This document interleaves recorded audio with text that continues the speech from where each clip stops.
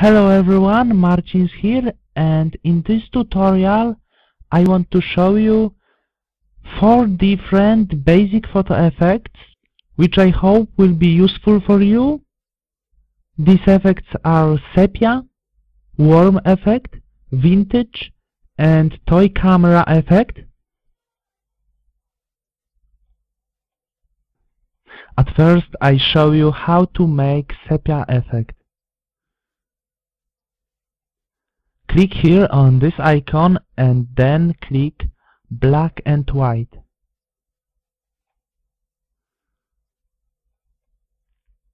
Now you can change your brightness and contrast if you want. I add some contrast and brightness. Then create new layer, go to solid color and select the brown color like this. And in blending mode for the layer, set soft light.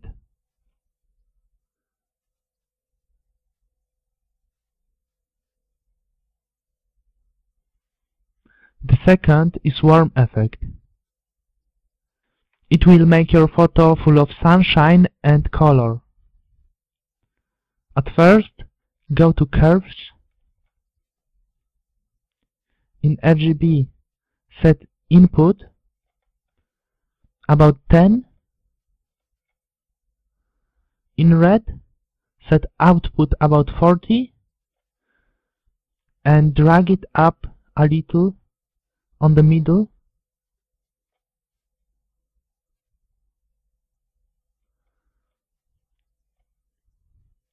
Do the same as me in green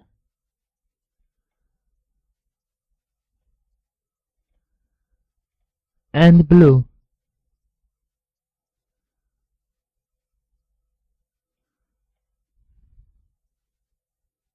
Set output about 80 and drag it down in the middle.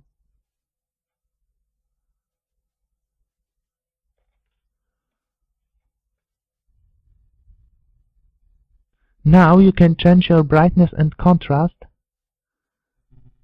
add some contrast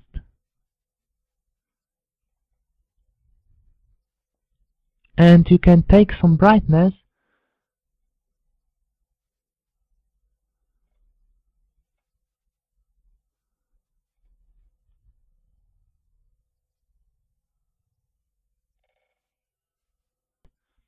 Now I show you how to add vintage look to your photo. Create new layer go to solid color and fill it with blue. In blending mode for the layer set exclusion and set opacity about 50% duplicate your background layer drag it on the top and in blending mode for the layer set soft light. And now set opacity about 60%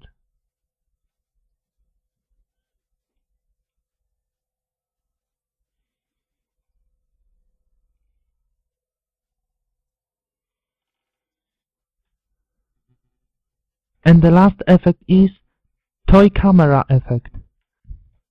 At first, duplicate your photo,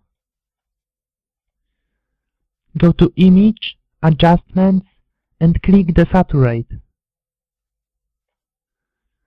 In blending mode for the layer, set Overlay. Now click Filter and click Lens Correction. Go to Custom and in vignette set amount minus 100 and midpoint at 30 and click OK. Now duplicate this copy layer and it's all. If you don't like too much contrast, you can change blend mode to soft light.